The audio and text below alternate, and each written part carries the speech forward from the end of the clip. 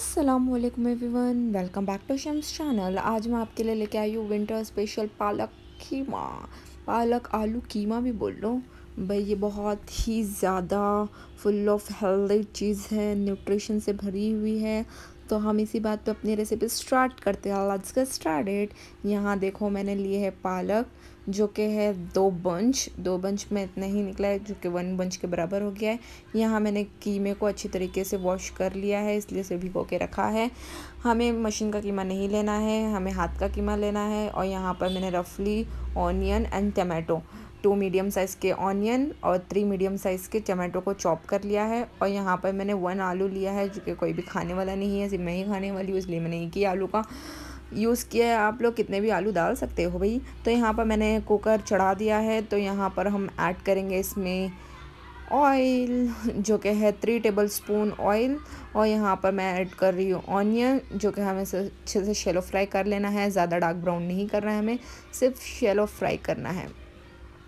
ये जितना देखने में इजी है, उतना खाने में भी बहुत ज़्यादा टेस्टी है और बहुत ज़्यादा हेल्थ के लिए भी अच्छा है।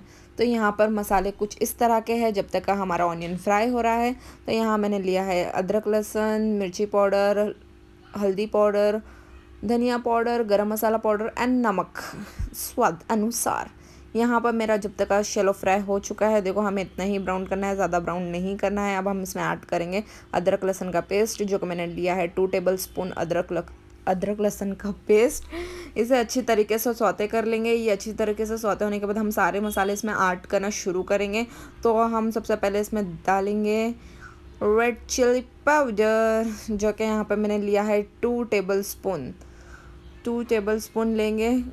आप अपने स्पून के हिसाब से ले सकते हो। मैं, मेरा ये स्पून इस तरह का है तो मैं यहाँ पर टू टेबल स्पून ऐड कर रही हूँ। ये कश्मीरी लाल एम टी आर का मिक्स पाउडर है और यहाँ पर मैं ऐड कर रही हूँ हल्दी पाउडर जो कि है हाफ़ टी स्पून और यहाँ पर मैंने लिया है धनिया पाउडर तो ये है two and half tablespoon जो कि हमें इसकी क्वांटिटी ज़्यादा रखनी है। थोड़ी ग्रेवी चाहिए हम लोग को और यहाँ पर हाफ़ टी स्पून मैंने गरम मसाला पाउडर ऐड किया है और नमक आपके टेस्ट के हिसाब से। तो ये सारे मसाले मैंने ऐड कर लिए हैं तो हम इसे अच्छी जली सोते कर लेंगे। हमें ज़्यादा भुनना नहीं है बट थोड़ा सा लिटिल बिट सोते कर लेना है जाके मसाले अच्छी तरीके से एक दूसरे में मिल जाए और तेल ऊपर छूट जाए। देखो ऑलमोस्ट तेल मेरा निकल रहा है, इसमें छूट रहा है तेल। तो इसके बाद हम अच्छी तरीके से इसे भुनने के बाद हम इसमें ऐड करेंगे।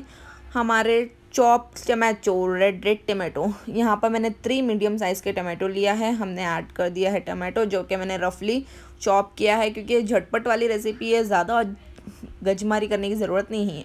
तो ये फटफट से हम सौदे कर लेते हैं। टमाटर अच्छी तरीके से मैश हो जाना चाहिए, इसलिए मैं थोड़ा सा इसको दम पे रखूँगी। और यहाँ पर जब तक मैंने क्या किया? ये क्या हो गया? कि यूँ गया और यूँ कट हो गया। यहाँ मैंने पालक अच्छी तरीके से कट करके रख लिए हैं। नेक्स्ट हम इसमें ऐड करेंगे तीन ग्लीच ग्रीन चिलीज़ जो ऑप्शनल है। आप लोग डाल भी सकते हो, नहीं भी डाल सकते हो। ऑप्शनल का मतलब ही वही होता है। यहाँ पर मैंने कीमा ऐड कर दिया है और यहाँ पर मैंने पानी गर्म करके रखा था थोड़ा सा तो वो मैं थोड़ा सी ऐड करूँगी क्योंकि पालक में ऑलमोस्ट पानी बहुत ज़्यादा होता है, आप लोगों को तो पता है तो इसलिए हम कम पानी ऐड करेंगे। तो यहाँ पर हम सिटी लगा देते हैं। अब हम मिलते हैं आपको टेन मिनट्स के बाद।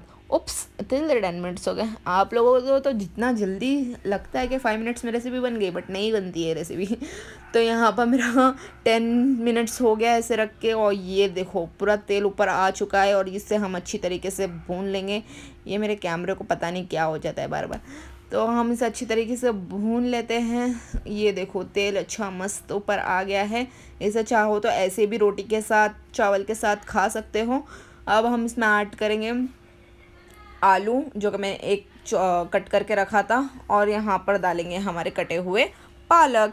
अब हमें इसे मिक्स नहीं करना है, सिर्फ़ हमें ऐसी विसल लगा देने की है, एक ही विसल लगाना है हमें, और ये रेडी हो चुका है। निंचन विसल नहीं, हम दम पे भी पका सकते हैं बट आलू नहीं गलते हैं तो जल्दी जल्दी मुझे पकाना था तो इसलिए मैंने एक सीटी लगा दिया। आप लोग दम पे भी रख के पका सकते हो, क्योंकि भाप में ही गल जाती है पालक। अब हम इसे अच्छी तरीके से मिक्स कर लेंगे और करेंगे सर्व क्योंकि ये ऑलमोस्ट रेडी हो गया। हमारे आलू भी अच्छी तरीके से गल चुके हैं। आप इसे सूखी रोटी के साथ परोठे के साथ कैसे भी खा सकते हो। इवन राइस घी राइस और ज़ीरा राइस बोलो, सबके साथ सर्व कर सकते हैं। मगर जो मज़ा रोटी के साथ आता है, वो चावल में क्या बात है। तो ये हमारा रेडी हो गया है। कुछ मैंने इसे एक स्पेनिश के साथ उसको हार्ट शेप में कट करके सर्विंग किया है। तो आप लोगों को कैसी लगी आज की रेसिपी कमेंट करना। अल्लाह हाफि